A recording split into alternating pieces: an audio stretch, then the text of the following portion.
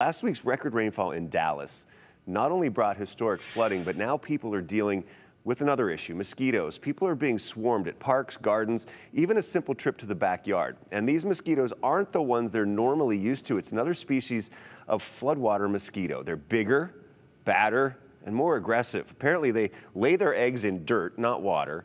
Those eggs can stay there for three years. Then it takes a torrential rain, so Bree was right, like last week, to wash them up and the perfect amount of heat to make them hatch. An environmental specialist for the city of Dallas said he's only seen this type of mosquito twice in 15 years. They can fly up to uh, two miles for a blood meal. So it doesn't even matter really where that floodwater was. They're going to go looking for the blood meal. Uh, we've gotten a lot of calls from various parks down in the southern area of Dallas a blood meal.